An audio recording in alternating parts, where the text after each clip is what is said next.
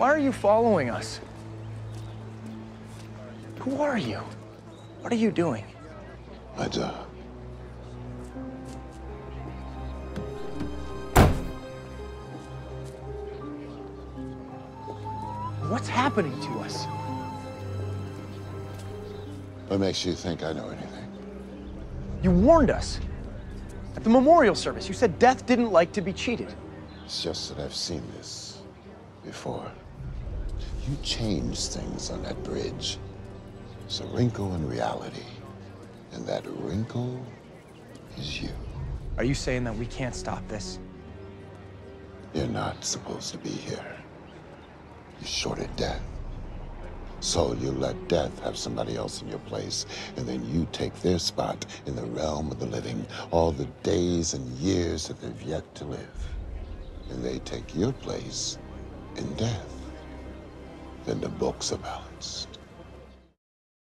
First, I want to thank you guys for the interview. Oh, man, now, thank you, you two, I understand you two got a lot of chemistry in this film. Can you guys tell me a little bit about your roles? Yeah. Yeah. Yeah, for sure. We, So they finish each other's sentences. It's great. It's too cute. I gotta say, man, we've said this a bunch, but it's true. You know, we had just a blast We working did. with each other, and it was great because she and I had to carry a lot of different scenes that a, a part of the other on that the ensemble wasn't in. You know, that there was a few scenes inside the apartment together, inside the restaurants and things, and those are scenes where we had to be really kind of emotional and, and, and have to show the love between each other. And so, eh, you know, you asked about characters. I, I play Sam Lawton, uh, the kid who sees the premonition, and um, I play and- Molly Harper, the Yeah. girlfriend of. Yeah. Yeah. And she's just, and you know, she's a stabilizing force for my character, and she was a stabilizing force for me as an actor. You know, we were there all day long, like keeping it fresh for each other and having fun. And, Yeah. and that, you just, it's a priceless, it's absolutely priceless in a film where you're shooting for three months, where you know going to work every day is going to be fun. Oh, that's Exactly. Yeah. exactly. It's So- true though, and I feel the same exact way for him. I have to make this very loving, but Yeah. No. Thank you for lying right there. I appreciate Couple that. of I was names. telling the truth, and she was lying. Now, what was it like when you guys first got the call? Like, I mean, this is the fifth one. You're going in. I got the call. I got the job. What I mean, what was that experience like? thrilling for me. I mean, and also Yours is sort of um, a whirlwind because I I went in very I got cast very late in the process, so I went in on like a Tuesday, and then two days later I went into the execs at New Line for a meeting, and then literally like the next day I had to get on a plane for three months Wow.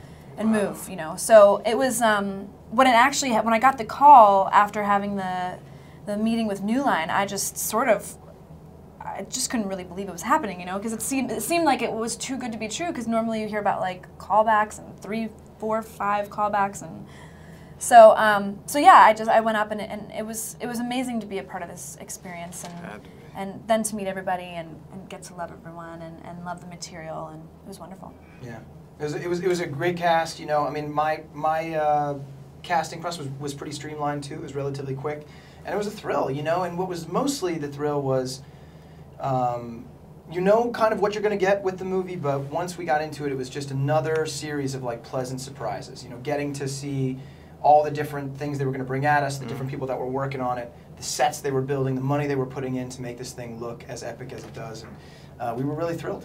Mr. Todd, I mean, this is your fifth one. Going Mr. in- Strong. Oh, that is I. fifth one, I mean, everybody knows you're the person that they got to meet eventually, right? I mean, what's it like working with Steve, I mean, with, with the director when on the fifth one? It, well, uh, first of all, I was a kid when I got the call, uh, and I still am a kid every time I get cast, which is like once a week. No, I'm kidding. but uh, I've never worked a 3D process before, you know, not live, and that was kind of intimidating for me. People say I intimidate other things. I didn't know what that was about, and all the time it just seemed like it takes forever. It's meticulous. Like Emma said earlier, there's a hair in the face, it's coming at you, has to be moved, and usually it, it at first it felt like it was inorganic. You know, you know, I come from the theater, so it's all about moment to moment and organicness. Um, so once I was able to put that past, and I realized that Steve loved that side of it as much as I loved the craft of acting, then it was a way to meet in the middle ground.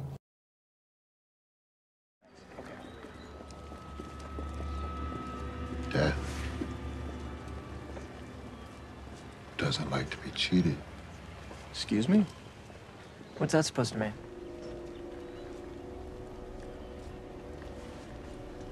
You all just be careful now. Okay. Thanks for the advice. Creepy guy.